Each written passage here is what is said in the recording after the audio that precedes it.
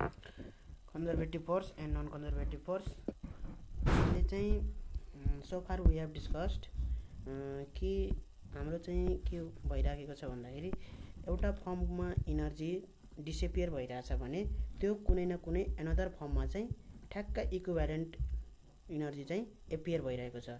Suppose हाम्रो kinetic energy kinetic energy disappear भइरहेको छ भने त्यो चाहिँ पोटेन्सियल इनर्जीको फर्ममा चाहिँ एपियर भइरहेको छ। फर इक्जाम्पल एउटा मैले यहाँ बल लिएँ त्यो बललाई मैले ग्राउन्डबाट थ्रो गरेँ माथि। माथि थ्रो गर्दाखेरि उसको भेलोसिटी के घट्दै घट्दै घट्दै गयो। भन्नुको मतलब उसको काइनेटिक इनर्जी घट्दै घट्दै गयो। तर हाम्रो काइनेटिक इनर्जीमा जुन डिसएपियरेन्स छ त्यो चाहिँ केमा एपियरेन्स भइरहेको छ? पोटेन्सियल इनर्जीमा। काइनेटिक इनर्जी घट्दै घट्दै गइरहेछ भने के भइरहेछ त पोटेन्सियल इनर्जी बढ्दै बढ्दै गइरहेको छ।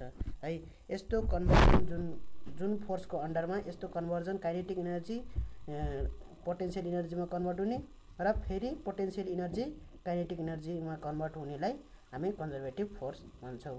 जस्तै यो ग्राभिटेसनल फोर्स ग्राभिटेसनल फोर्समा कुनै पनि बडी अब उसको चाहिँ सर्टेन काइनेटिक इनर्जी मैले दिएँ उसलाई मैले माथि फालेँ भने यो चाहिँ के को अन्डरमा गयो ग्राभिटेसनल फोर्सको अन्डरमा गयो नि होइन? ग्राभिटेसनल फोर्सले उसलाई तल तानिराखेको छ होइन? भनेपछि त्यसको के भयो? काइनेटिक इनर्जी घट्दै घट्दै गइरहेछ। अब त्यो काइनेटिक इनर्जी घट्दै घट्दै त गइरह तर त्यसमा के भइरहेछ? पोटेन्सियल इनर्जी बढ्दै बढ्दै गइरहेछ एउटा म्याक्सिमम् हाइटमा पुगेपछि के हुन्छ उसको पोटेन्सियल इनर्जी म्याक्सिमम् हुन्छ भने उसको kinetic energy minimum that is zero हुन्छ है। त्यसपछि के हुन्छ त्यो? त्यहीँ अड्डी राख्छ त राख्दैन नि। त्यसको फेरि के हुन्छ? पोटेन्सियल इनर्जी फेरि केमा कन्भर्ट हुन्छ? काइनेटिक इनर्जीमा कन्भर्ट हुन्छ। भनेपछि यहाँ के भयो? हाम्रो इनर्जी कुनै फर्ममा चाहिँ डिसेपियर भएन। त्यो चाहिँ जस्ट कन्भर्ट भयो एउटा फर्मदेखि अर्को फर्ममा इनर्जी लस भएन। हो यस्तो फोर्सको जुन जसको अन्डरमा चाहिँ पोटेन्सियल इनर्जी र काइनेटिक इनर्जी इन्टर कन्भर्टिबल हुन्छ है? त्यस्तोलाई हामी कन्जर्भेटिभ फोर्स भन्छौँ है?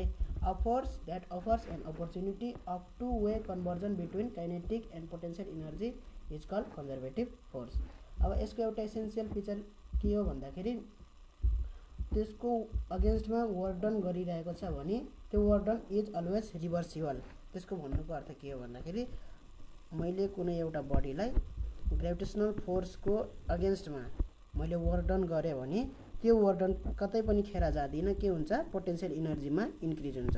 सपोज मैले यो बडीलाई यहाँबाट ग्राउन्डबाट सर्टेन हाइट एचमा मैले त्यसलाई लगेँ है। भनेपछि मैले सर्टेन हाइट एचसम्म लाग्दाखेरि के गर्छु मैले? वर्डन गर्छु। वर्डन अगेन्स्ट कुन फोर्स गर्छु? ग्रेभिटेसनल फोर्स है? ग्रेभिटेसनल फोर्सको अगेन्स्टमा मैले वर्डन गर्छु। र मैले त्यो वर्डन गर्दाखेरि त्यो वर्डन चाहिँ के भयो? पोटेन्सियल इनर्जीको फर्ममा चाहिँ बस्यो है? अब त्यसले फेरि त्यो इनर्जीमा इनर्जीमा बस्यो भन्नुको मतलब फेरि अब त्यसले के गर्न सक्छ? इट क्यान डु वर्क है? पोटेन्सियल इनर्जीमा बस्यो। अब मैले जस्ट त्यहाँबाट छोडिदिएँ भने के हुन्छ? त्यो पोटेन्सियल इनर्जी फेरि केमा कन्भर्ट भइहाल्छ? काइनेटिक इनर्जीमा कन्भर्ट भइहाल्छ। भन्नुको मतलब मैले गरेको वर्डन कहीँ पनि खेरा भएन जस्ट कन्भर्ट भयो पोटेन्सियल इनर्जीमा फेरि त्यो पोटेन्सियल इनर्जी फेरि केमा कन्भर्ट भयो? काइनेटिक इनर्जी हो यस्तो फोर्सलाई हामी जसको अन्डरमा चाहिँ पोटेन्सियल इनर्जी काइनेटिक इनर्जी र वर्डन चाहिँ खेर जाँदिन त्यस्तोलाई हामी कन्जर्भेटिभ फोर्स भन्छौँ। अब नन कन्जर्भेटिभ फोर्स भनेको कस्तो त? है अब जस्तै मैले यसैको जस्ट नन कन्जर्भेटिभ भनेपछि त जस्ट यसको अपोजिट भयो है। अब सपोज मैले फ्रिक्सन फोर्सको फ्रिक्सन पनि एउटा फोर्स हो है। फ्रिक्सन फोर्सको मैले अगेन्स्टमा वर्क गरेँ। भनेपछि मैले जुन फोर्स एप्लाई गरेर मैले फ्रिक्सन फोर्सको अगेन्स्टमा वर्क गरेँ त्यो वर्डन चाहिँ कुनै पनि फर्ममा मैले रिभर्स रिभर्सिबल हुँदैन है। मैले कुनै पनि फर्ममा चाहिँ त्यसको इनर्जी इन्क्रिज गरेको हुँदैन। त्यो इनर त्यो वर्डन चाहिँ खेर गयो। मैले एप्लाइड फोर्स गरेँ है। एप्लाइड फोर्सले वर्डन गर्यो। मैले सर्टन डिस्प्लेसमेन्ट कभर गरेँ। डिस्प्लेसमेन्ट कभर गरिसके पछाडि जस्ट यो पोजिसनमा पुग्दाखेरि यसमा मैले के काइनेटिक इनर्जी गेन गर्छु? काइनेटिक इनर्जी यदि एप्लाइड फोर्स चाहिँ ग्रेटर देन फ्रिक्सन फोर्स छ भने काइनेटिक इनर्जी अभियसली गेन गर्छु। यदि एप्लाइड फोर्स चाहिँ फ्रिक्सन फोर्ससित बराबर छ भने यो घिसार्दै घिसार्दै लान्छु तर मैले कुनै भेलोसिटीमा इन्क्रिमेन्ट गरेको पाउन्न है। त्यस्तो त्यस्तो हुँदाखेरि काइनेटिक इनर्जी चाहिँ मैले गेन गरेको हुँदैन। र त्यो हुँदाखेरि मैले वर्क डन त गर्छु न त मैले काइनेटिक इनर्जी पाउँछु न त मैले पोटेन्सियल इनर्जी पाउँछु है। अब जस्ट यो पोजिसनमा भएपछि के भयो फेरि? यो पोजिसनबाट फेरि यो रिटर्न आउँछ त? आउँदैन नि।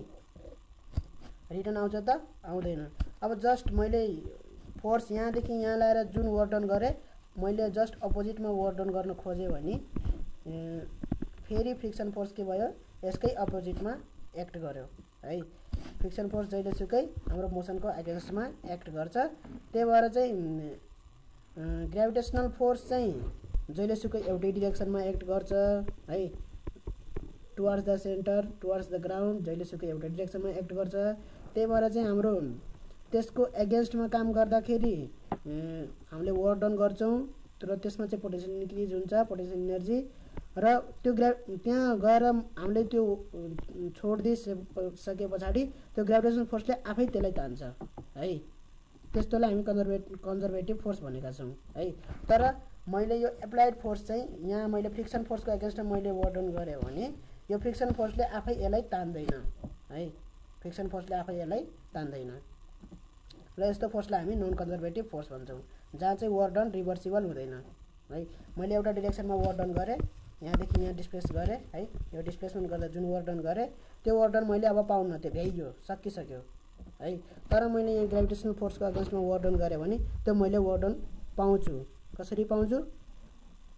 त्यो चाहिँ फेरि के हुन्छ? काइनेटिक इनर्जीमा पाउन सकिन्छ है? अथवा मैले यो काइनेटिक इनर्जीबाट चाहिँ त्यसलाई अर्को वर्डनमा कन्भर्ट गर्न सक्छु। कुनै भ्यालुसिटीले स्ट्राइक गरेर है? अब त्यो खस्दाखेरि कुनै भ्यालुसिटीले स्ट्राइक गर्छ नि। कुनै बडी मैले तल राखिदिएँ है? र त्यसमा स्ट्राइक गराएर त्यो बडीलाई त्यो काइनेटिक इनर्जी भएको बडीलाई पोटेन्सियल इनर्जीबाट चाहिँ जुन काइनेटिक इनर्जीमा कन्भर्ट भएको छ त्यो काइनेटिक इनर्जीलाई मैले वर्क डनमा कन्भर्ट गर्न सक्छु। भन्नुको मतलब मैले त्यसलाई वर्क डन मेरो रिभर्सिबल भयो है? तर फ्रिक्सनल फोर्सको अगेन्स्टमा के भयो? हाम्रो वर्क डन रिभर्सिबल भएन है? त्यो कुरा चाहिँ बुझ्नु पऱ्यो त्यस्तोलाई हामी नन कन्जर्भेटिभ फोर्स भन्छौँ। र अब यो अब कन्जर्भेटिभ फोर्सको इक्जाम्पलहरू अरू इलेक्ट्रिक फोर्स है? इलेक्ट्रिक फोर्स इलेक्ट्रिक फोर्स भनेको इलेक्ट्रोस्ट्याटिक है? म्याग्नेटिक फोर्स भयो है? एउटा डिरेक्सनमा एक्ट गर्ने फोर्सहरू हुन् है?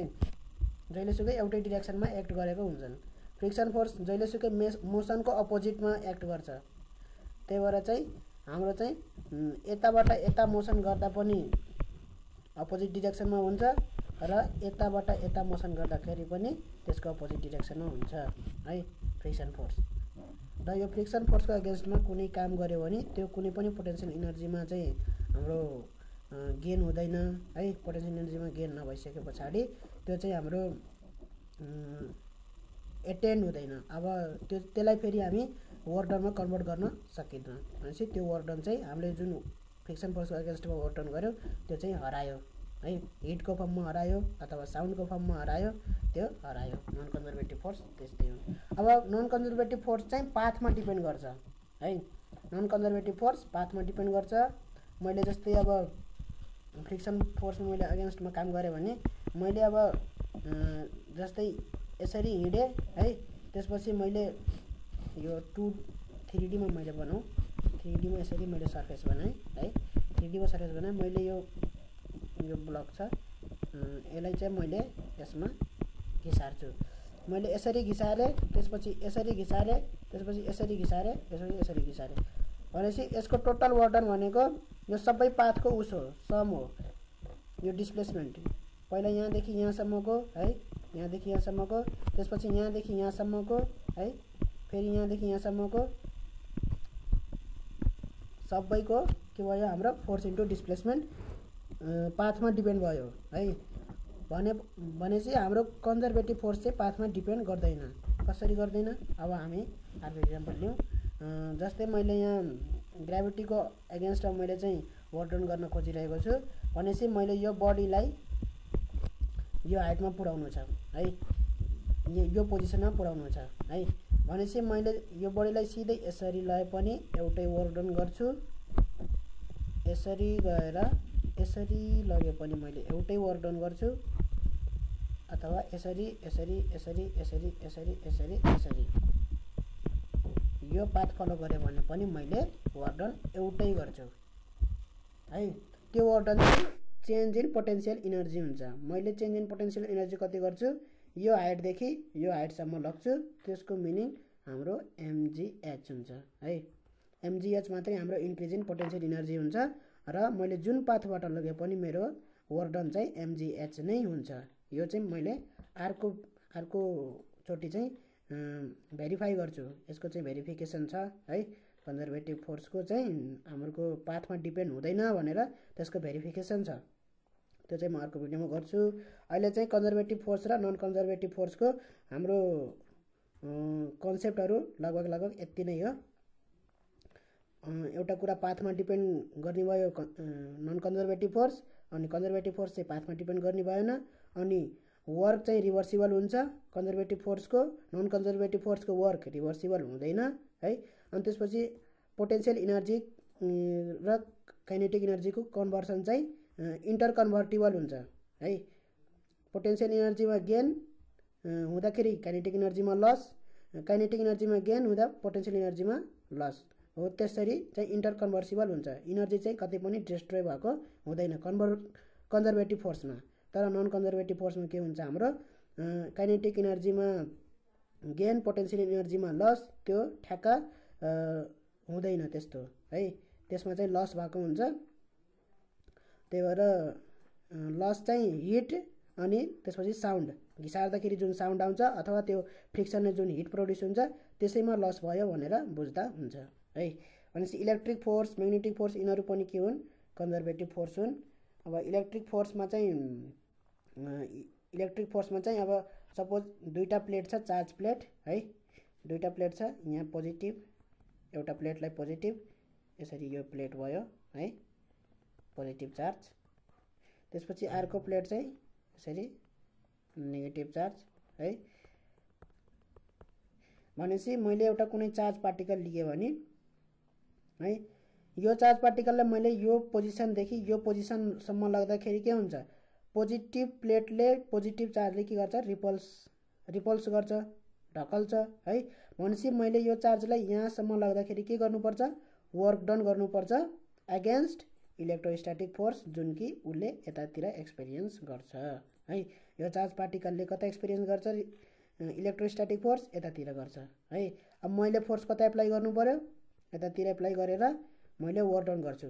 अब मैले ठ्याक्क यो पोजिसनमा लाग्दाखेरि के हुन्छ? उसको पोटेन्सियल इनर्जीमा इन्क्रिज हुन्छ। मैले त्यो फोर्स यो चार्ज पार्टिकललाई छोडिदिने बित्तिकै के हुन्छ? यो चार्ज पार्टिकल यसरी आउँछ। मतलब त्यसको गेन इन काइनेटिक इनर्जी हुन्छ।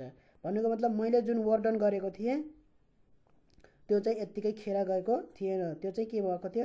पोटेन्सियल इनर्जीको फर्ममा बसेको थियो र मैले छोडिदिने बित्तिकै के भयो? त्यो काइनेटिक इनर्जीमा कन्भर्ट भयो। हो यसरी इनर्जी लस नहुने पोटेन्सियल इनर्जीदेखि काइनेटिक इनर्जीमा इन्टर कन्भर्टेबल हुने त्यस्तो फोर्सहरूलाई हामी कन्जर्भेटिभ फोर्स भन्छौँ।